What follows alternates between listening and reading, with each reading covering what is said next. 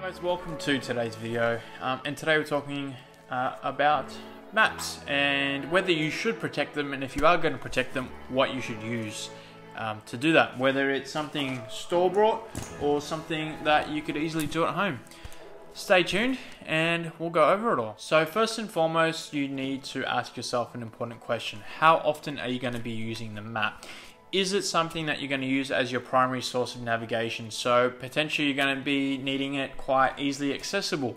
Uh, you're going to be exposing it to the environment and you're going to be creating wear and tear by um, constantly folding it and bending it in different ways to get it in its potential uh, map protector.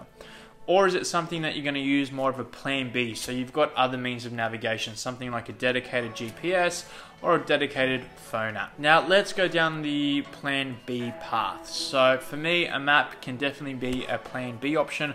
I love using the hiking app uh, just because it's really, really simple, but I'll still always carry a map as a backup.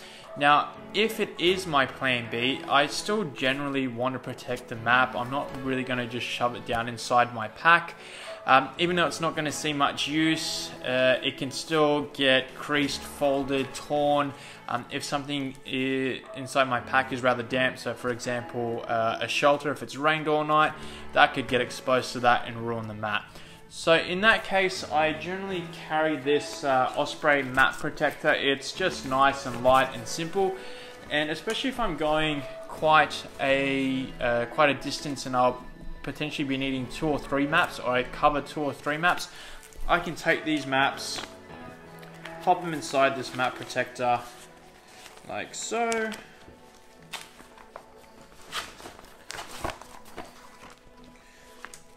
And this thing is actually completely waterproof. I've done a whole separate review video on that. I'll link that down below.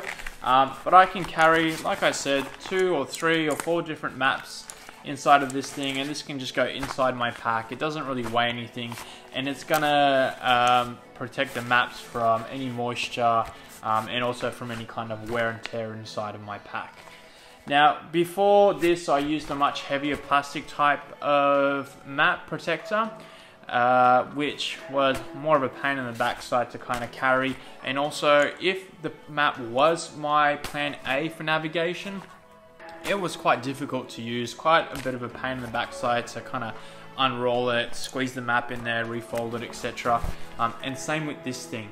And really, what are you protecting the map from? You're protecting it from two things the environment, so rain, dirt, all that kind of stuff, and also from everyday wear and tear. Now that can be wear and tear inside your pack against other items, but it can also come from constantly having to fold the map, fold it in different ways, um, or fold it the same way over and over again, um, really creating that crease line and eventually the map falls apart um, which is you know a bit of a problem with these things because they only expose a certain part of the map. So you might need to take it out refold it etc and um, it creates wear and tear on the map. So apart from creating extra wear and tear on the map they did protect it from the environment.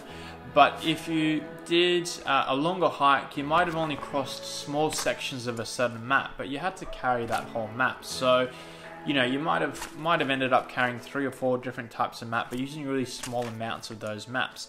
Um, and having to kind of sort them out and go through them really became quite uh, problematic, quite a bit of a pain in the backside. So I was really stuck on what to do until I started going to adventure races, and people there were using all different types of map protectors, from you know these kinds of ones to the thicker plastic ones.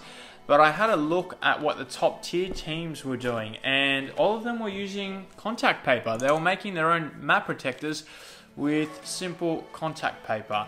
Um, and my mind basically exploded as to what a good idea that was. They were completely customizing the map, so they were able to, you know, cut out sections where they knew we weren't racing, um, and only carry the bare essential of the map. So I got my own contact paper and I started playing around with making my own map and this is pretty much what I ended up with. This is a section of map protected by contact. Now, the benefits of this are number one, I only carry what I need to. So these are the other bits of map here, uh, number two, number three, etc. uh, sections of the map, but if I'm going on a trip and I only need a small part of this map, why do I need to bring the whole map? With this method, I can only carry the certain sections that I need. Number two, it keeps it um, nice, light, simple, and uh, if you're going to fold it, then it protects the creases a lot more than um, keeping in one of these things. It also makes it a lot easier to fold it up a lot smaller because there's a lot less paper and you can simply just chuck it in your pants pocket um, or even in your shirt pocket if you've got one of the larger pockets. So it's easy to take out, have a quick look at, do your nav check, and then put away rather than carrying a much bigger map. And I, if I do need other sections of the map, again, I can keep these stored in the back uh, of my pack or wherever else and only use on the, uh, the section that I need. So it's nice, small, and light. Much, much easier than using one of these things. So I guess the next big question is how do you make it? Well, let's go over and make one of these map protectors. Alright, so let's get started. First and foremost, you are going to need a map.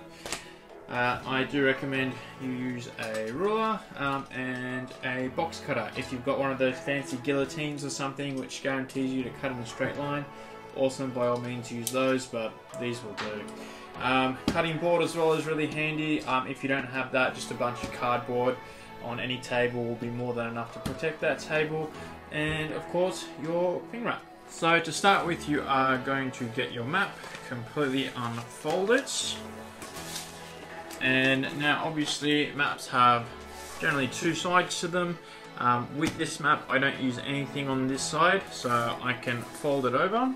Um, I only used this side of the map, so when I make my uh, map cover, I'm actually going to have a front and a back on the one page, which is nice and useful. Next up, take your map and we're going to cut it into sections. So pretty much where the folds are. So this will be one section here. Then this here will be another section between there and there. Um, and then another section here. Um, and then finally my last section. So let's go ahead and do that.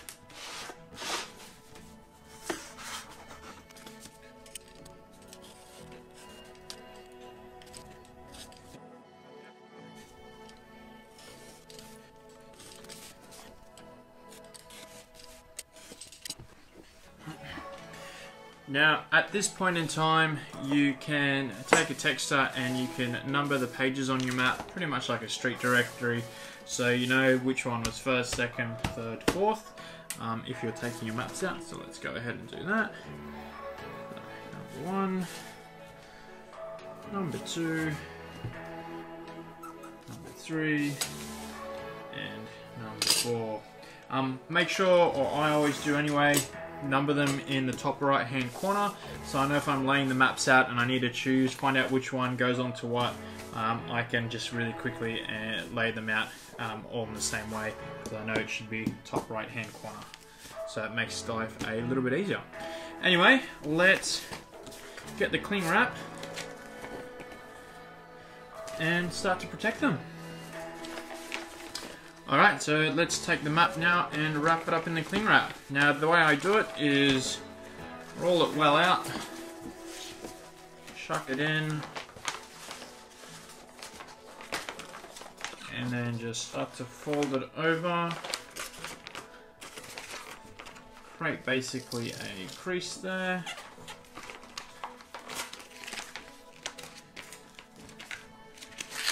And that looks about right. So only to there. Again, I can just use a marker. So I know I want to cut along this line there.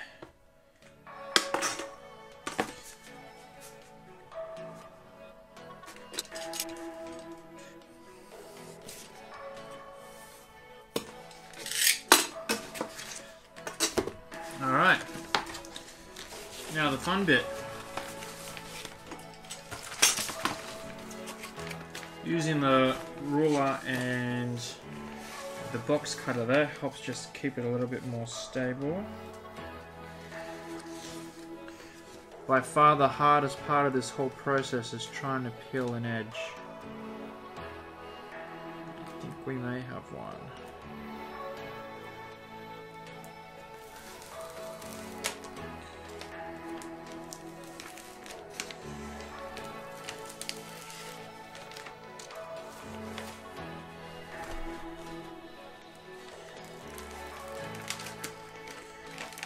I can lay the map there just for reference. So I know how much I need to peel roughly to start with.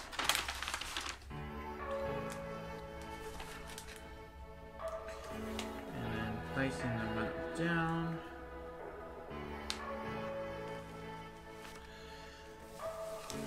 Now you want to make sure you really, and this is where the ruler will come in handy to actually use, press down nice and firmly get all those air bubbles out, which will be on the other side.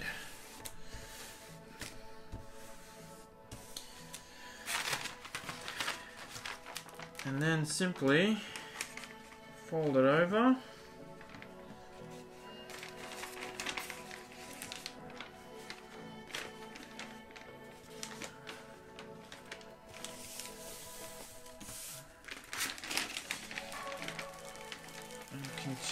Process.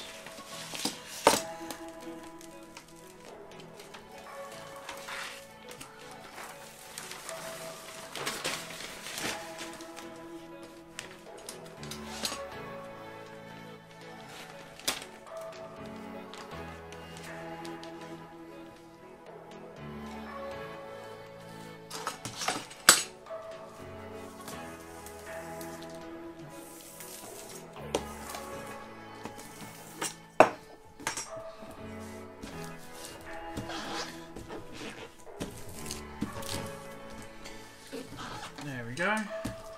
And then all you need to do is cut off the excess.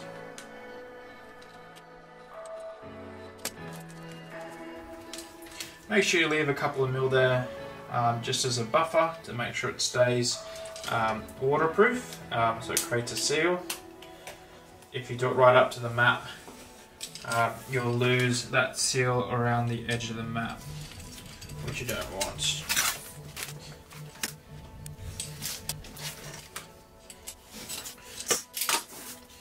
And there you go. There is your map. Protected both sides. Um, so simply copy and repeat on all these ones and this will keep them protect the map and keep it waterproof and that's it. So lastly I wanted to let you know of one other big advantage um, for using the cling wrap as a map protector. And that is the ability with a sharpie to completely write all over this map make notes um, circle things either before your trip or during it. I carry a little sharpie on my um, on my trips with me. Um, and then you can simply completely wipe that clean with a little bit of Metho if you want. And that's about it guys, that pretty much wraps it up. I hope that was useful for you. Uh, like I said earlier in the video, going from this to this was pretty eye-opening for me and it's made life a whole lot easier. Um, you can uh, clean up the whole map if you want to keep it as kind of, you know, one giant map. I found cutting into sections um, just a lot easier to manage. Uh, but that's up to you. Uh, if you do have any questions or want me to make any follow-up videos on any specifics with this technique, do let me know down below in the comments. Give me a thumbs up if you got something out of it. And if you're interested in more videos, definitely hit that subscribe button. But as always, thank you for watching and until next time, happy trails.